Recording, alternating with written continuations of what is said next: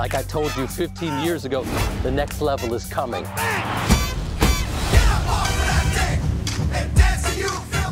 So, guys, throughout the series and in the film, there are a ton of celebrity cameos. Yes. Were you ever starstruck by anybody? Like, you can be honest.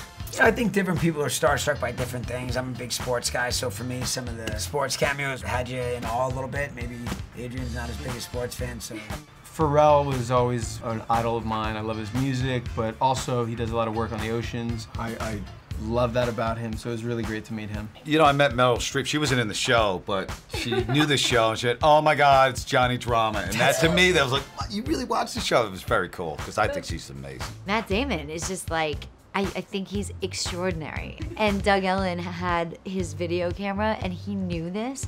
So he was following me when I met Matt for the first time. And I just was like, Mike Tyson. We've met several times before, but I can't stop fangirling out when I see him. He's like, what's up, champ? And I'm like, me? Take me for a round. I last 30 seconds, you let me take you out on a date. Last 60 seconds, I'll let you. Were y'all there the day the fight scene took place with Ronda and Turtle? Oh, we're oh, there. We're there. On the right side of the octagon. Did she go easy on him? Because she told me she went easy on him.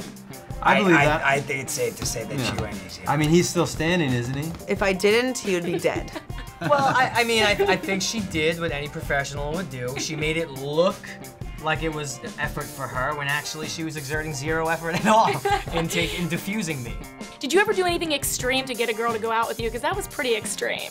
Not that extreme, not to be honest. That's ex- that's as extreme as it gets. That is. Yeah. I have not chased one down uh, and made vicious illegal U-turns in the city of Beverly Hills. No, He's uh, not that romantic. You know, it's funny, when I was like around 16 years old, I, I used to go to the YMCA to, to train. And then one day when I came in, um, someone gave me a note. And for the chicks from the front desk, and it turned out that it was from one of the lifeguards that had been watching me come in every day and was too shy to talk to me.